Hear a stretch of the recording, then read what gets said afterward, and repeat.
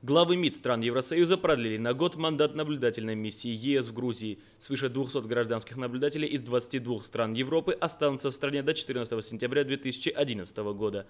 Официально миссия приступила к работе 1 октября 2008 года, после грузино-российской войны. Москва, Сухуми и Скинвали в нарушении мирного соглашения до сих пор не допускают европейских наблюдателей в конфликтные регионы.